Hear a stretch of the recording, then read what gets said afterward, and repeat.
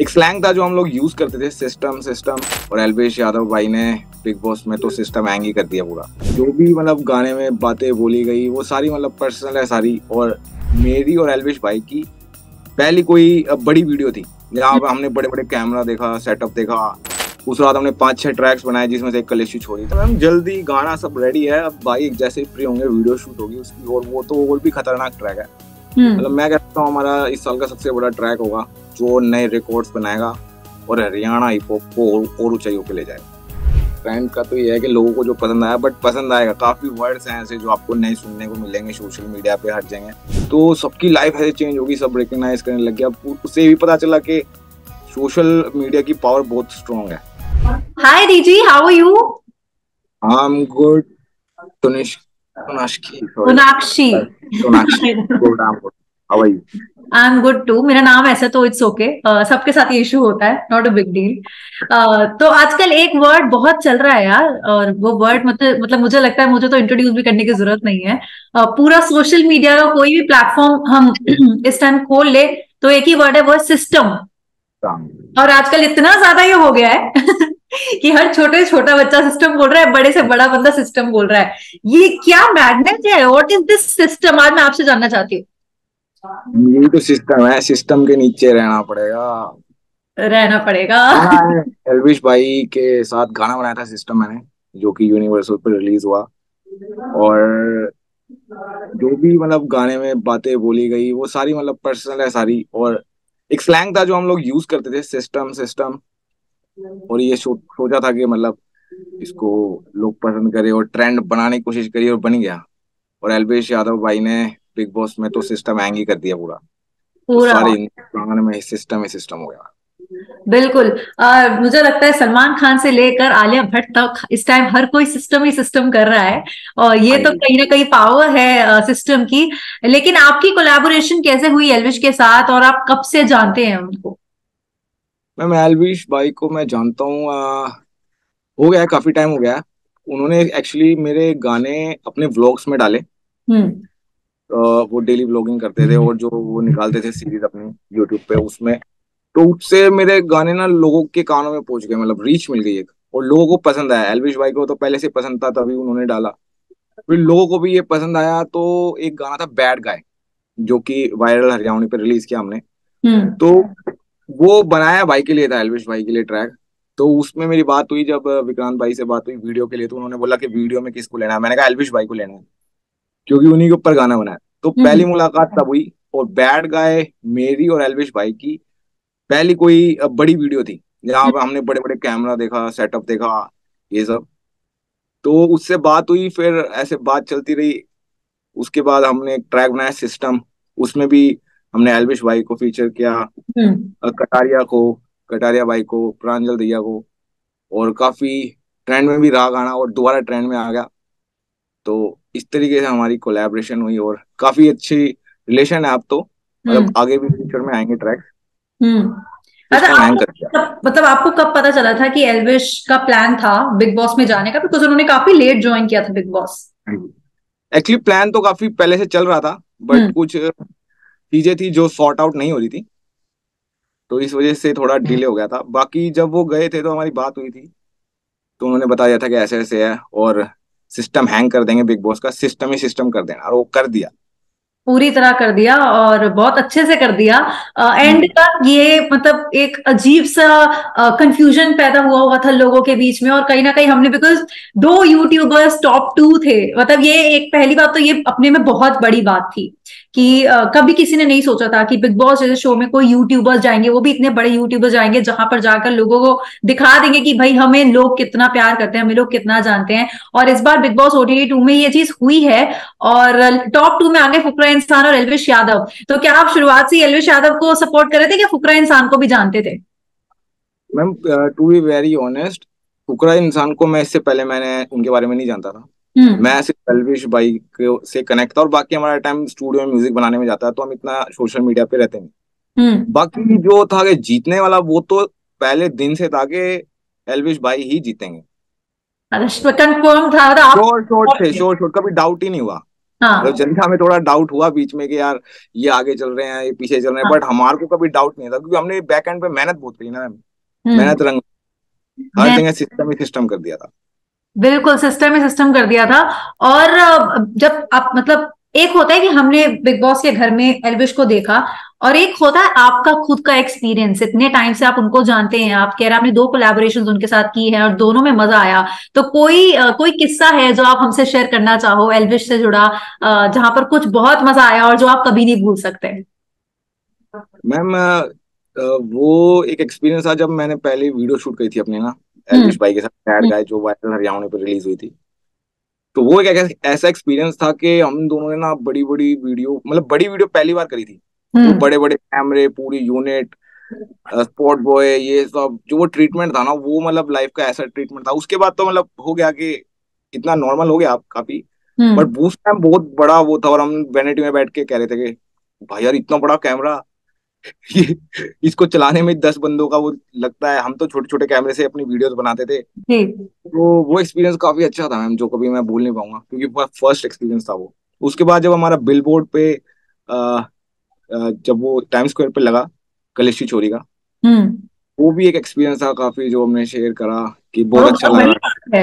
एक हाँ हाँ मतलब कलेशी चोरी का लगना है कलेशी चोरी खुद में एक बहुत बड़ा ट्रेंड बन गया था। तो हाँ उसके बारे में थोड़ा सा बताओ कि सिस्टम का तो चलो आपने बताया कि किस तरह से आपकी कोलैबोरेशन हुई और आ, किस तरह का शूट हुआ सब कुछ लेकिन कलेशी छोरी कैसे हुआ और ये कलेशी छोरी का आइडिया कहाँ से मिला था आपको? मैम आइडिया तो ये था कि मैं जब कॉलेज में था तो थी एक मेरी फ्रेंड ना ऐसी कलेशी थी।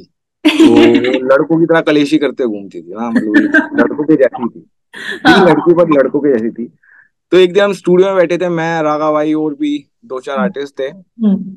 तो उस टाइम ऐसे ही बीट चलाई हमने और यही वाइब आ रही थी। बारिश हो रही थी एक्चुअली आज बारिश बड़ी तेज हो रही है। कॉन्सेप्ट ये था कि वो लड़की गाड़ी बड़ी रैश चलाती थी। जी।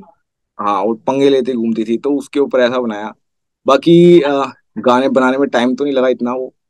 उस रात हमने पाँच छह ट्रैक्स बनाए जिसमें से एक कलेशी छोड़ी था। हम्म। और रिलीज़ कर दिया। उस टाइम शायद वो मास ऑडियंस में पहुँचा नहीं था। बट अच्छा। रिलीज़ करने के डेढ़ साल बाद इतना वायरल हो गया कि वो ग्लोबल ट्रेंडिंग पे पहुँच गया मतलब ना स्पोटिफाई पे। तो सबकी लाइफ ऐसे चेंज होगी सब रिकग्नाइज करने लग गया। उससे भी पता चला कि सोशल मीडिया की पावर बहुत स्ट्रांग है। हम्म। तो हमने यूट्यूब पर रिलीज़ करा तो इतना वो नहीं हुआ जैसे वो सोशल मीडिया पे गया वो गाना बहुत बड़ा गाना बन गया। सबसे बड़ा। और ये आप आपने ऐसे कलेशी चोरी बोला है ना तो ये मुझे लगता है कहीं ना कहीं वो उस गाने से ही वो टर्म वो मिल गया लड़कों को स्पेशली कि जब भी मतलब ऐसा होता है कि हर लड़कों के ग्रुप में एक ना एक लड़की ऐसी लड़की होती है हाँ, हाँ थोड़ी कलेशी होती है। तो मुझे लगता है उन लड़कों को आपने ये वर्ड ज़रूर दे दिया कि अब वो, वो उसी नाम से चिढ़ाए। कुछ लड़कियाँ भी ऐसी है जो अपने आप को कलेशी खुद बोलती है तो उनको भी मिल गया। अच्छा उनको भी मिल गया। और इसके अलावा मुझे बात बताइए हरियाणवी हिप हॉप म्यूज़िक को आगे ले जाने का आपका क्या प्लान है? आ, किस तरह के ट्रैक्स पर आप अभी काम कर रहे हैं? क्या एलविश के साथ एक और कोलैबोरेशन करने का भी प्लान बनाया हुआ है? बिल्कुल मैम जल्दी गाना सब रेडी है। अब भाई जैसे फ्री होंगे वीडियो शूट होगी उसकी और वो तो और भी खतरनाक ट्रैक है। हम्म। मतलब मैं कहता हूँ हमारा इस साल का सबसे बड़ा ट्रैक होगा जो नए रिकॉर्ड्स बनाएगा और हरियाणा हिप हॉप को और ऊंचाइयों पे ले जाएगा। हम्म। क्योंकि हम लोग ना जैसे हरियाणवी म्यूज़िक को देखते हैं जैसे मैं दिल्ली आई टू दिल्ली दिल्ली में रहती हूँ और जिस तरह से हम हरियाणवी म्यूज़िक को हमेशा से देखते हैं वो एक अलग तरह का म्यूज़िक होता था। और शायद यही यही कहीं ना कहीं रीजन था कि यूथ हम जैसे लोग बहुत ज़्यादा अट्रैक्ट नहीं होते थे। जो लोग सुनते थे वो सुनते ही थे ऑफकोर्स उसकी उसकी अपना फ़ैन बेस था। लेकिन मुझे लगता है कहीं ना कहीं जो आप इस तरह के ट्रैक्स लेकर आते हो जो हिप हॉप कल्चर को प्रमोट करते हैं लेकिन हरियाणवी तरह से करते हैं वो बहुत अच्छे से क्लिक कर रहा है इस टाइम यूथ के साथ हमारी यंग ऑडियंस के साथ तो वो बहुत ही कमाल की बात है। बिल्कुल मैम जैसे पहले हरियाणवी ट्रैक्स क्लबों में चलाते ही नहीं थे लोग। हम्म। एक दो ट्रैक थे जैसे फाजलपुरिया भाई जो निकालते थे वो थोड़ा अर्बन स्टाइल था वो क्लब्स में बसते थे। जैसे चुल हो गया बादशाह भाई के साथ जो निकाला था। ठीक है और ये हो गया टू मैनी गर्ल्स हो गया। तो मेरे को लगा कि ना कि जनता सुनना तो चाहती है बट थोड़ा म्यूज़िक चेंज हो। लैंग्वेज से दिक्कत नहीं उनको। हम्म, तो हमारा पहले जो साउंड था उसमें अलग इंस्ट्रूमेंट यूज़ होते थे। तो हमने क्या किया जो आज का आज का जो यूथ है वो हिप हॉप से बहुत इन्फ्लुएंस्ड है। और हिप हॉप हम्म। में है भी वो पावर के आप मास ऑडियंस तक पहुँच सकते हो। जी। तो हमने बस अपनी लैंग्वेज को फ्यूज कर दिया उसमें अर्बन म्यूज़िक में और एक नया साउंड बनाया जो कि लोग पसंद कर रहे हैं उससे रिलेट कर रहे हैं और उस पर नाच भी रहे हैं। जी। अच्छा इस साल भी कोई नंबर लेके चल रहे हो कि इतने ट्रैक्स निकालने ही निकालने मैम इस बार इस साल है दस बारह ट्रैक्स आएँगे। मतलब अभी वीडियो स्टार्ट होने वाली है शूट और ऑडियो तो ऑलमोस्ट कंप्लीट हो गया सब। हम्म ओके अच्छा एलविश के साथ तो चलो आपने काम किया एंड आपका बहुत ही अलग एक उनके साथ बॉन्ड बन गया एंड कहीं ना कहीं ये सिस्टम सिस्टम इस टाइम इतना ज़्यादा हो गया कि हर कोई आपके बारे में भी जानना चाहता है एलविश के बारे में भी जानना चाहता है। लेकिन क्या और भी कोई यूट्यूबर्स है जिनको जिनके साथ आप आगे काम करना चाहते हो? बिकॉज़ कहीं ना कहीं अब एलविश ने ना बहुत सारे यूट्यूबर्स के लिए भी बहुत चीज़ों में रास्ते खोल दिए हैं। हाँ मैम और तो क्या हर्ष पेनवल भाई से आ, के साथ करना चाहूँगा क्योंकि मैं उनके साथ बड़ा कनेक्ट होता हूँ जिस तरीके की वो हम्म। वीडियोस बनाते हैं और जिस तरीके वो मेहनत कर रहे हैं मैं काफ़ी मतलब उनसे ना रिलेट हम्म। कर पाता हूँ। और भी है अपने काफ़ी भाई हैं जिनके साथ अभी ट्रैक आएगा मैम। यूट्यूबर्स भी हैं और इंडस्ट्री के लोग भी हैं। बिल्कुल। ओके अच्छा एलविश से आपकी बात हुई है अब जीतने के बाद कोई बातचीत हुई हो आपने मैसेज किया हो कॉल किया हो? जीतने से जा उस दिन रात को मैंने मैसेज किया था उनको कॉल भी किया था शायद उनका फ़ोन उनके पास नहीं था। तो मेरी लव कटारिया भाई से बात हुई थी तो उनके थ्रू हो गई थी बात कि वो लोग अभी थोड़ा बिज़ी भी थे। तो अभी वापिस आएँगे दिल्ली में तो मिल के साथ बातचीत करते हैं और पार्टी करते हैं शेयर करते हैं एक्सपीरियंस आई थिंक पार्टी तो पार्टी तो बनती है और जब वो मिलेंगे तो, तो ये तो मौका इतना बड़ा है कहीं ना कहीं हाँ और ऑफकोर्स मुझे लगता है कि आपके ट्रैक्स ही चल रहे होंगे पार्टी में भी I am sure about it हम भाई लोग वही सुनते रहते हैं और भी अपने भाई उनके भी ट्रैक्स हैं। हम्म। अच्छा आप आपके ऐसे कौन से ट्रैक्स हैं सिस्टम के अलावा जो आप चाहते हैं कि जो आप बताना चाहते हैं लोगों को कि हमारा यूथ बहुत कनेक्ट करेगा उसे जो, जो लोगों को शायद नहीं पता होंगे इस टाइम तो मैंने भोलेनाथ के ऊपर बनाया।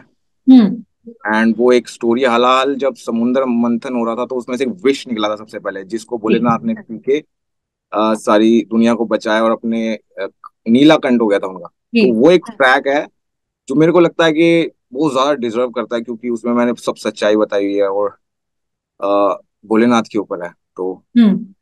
उसको लोग सुने और कनेक्ट करे एक दूसरे को ओके okay. अच्छा अब ये जब एलविश जब शो में गए तो फिर आपने कहीं ना कहीं बिकॉज़ आपका ट्रैक रिलीज़ हो चुका था अब कुछ टाइम पहले हम्म। तो क्या आपने देखा कि एकदम से बूम मिला और लोगों तक ज़्यादा पहुँचा ये ट्रैक बिल्कुल हम पहले भी गाना ट्रेंड पे था इंडिया में नंबर वन पे गया था जब रिलीज़ किया था उसके बाद दोबारा ट्रेंड पे गया तो ये था कि मास ऑडियंस के पास रीच पहुँच गई बहुत ज़्यादा। हम्म। आप कोई वर्ड है दिमाग में जो सिस्टम के बाद दूसरा वर्ड ट्रेंड कराना है? मैम है एक दो अभी। नहीं। बावली वगैरह काफ़ी है ट्रैक्स हैं अभी कैसे मैं आपको बताऊँ। ट्रेंड का तो ये है कि लोगों को जो पसंद आया बट पसंद आएगा। काफ़ी वर्ड्स हैं ऐसे जो आपको नहीं सुनने को मिलेंगे सोशल मीडिया पे हर जगह। हम्म। जिससे परेशान भी हो सकते हैं कि बार बार यही आ रहा है बार बार यही आ रहा है। ठीक है मुझे लगता है आपका इतना हिंट देना ही काफ़ी है। But thank you so much for joining us today और uh, बहुत अच्छा लगा आपसे बात करके एंड वी रियली विश कि ऐसा कुछ होता कि क्योंकि मेरे को पीछे दिख रहा है आपका प्रॉपर स्टूडियो है you have a proper studio is it in Delhi या इट्स इन दिल्ली मैम तो फिर ऐसा कुछ प्लान करना चाहिए था हमें कि आप कोई स्टूडियो की ही आ, कुछ कंपोज करते हुए हमें वहाँ पर बुलाते हैं हम वहाँ पर करते बिकॉज़ ऐसी जूम पे मज़ा नहीं आता करने में। दोबारा कर लेंगे ऐसा फॉर श्योर चलिए अगली बार ज़रूर आई थिंक हमें स्टूडियो विज़िट वाला एक इंटरव्यू प्रॉपर करना चाहिए जहाँ पे हम म्यूज़िक कुछ बनता हुआ बचता हुआ भी देखे तो और मज़ा आए। बट आज बहुत अच्छा लगा जितना भी टाइम आपने हमें दिया।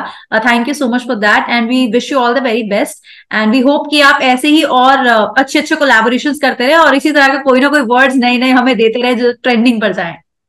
Thank you so much ma'am आपका भी। Thank you so much bye bye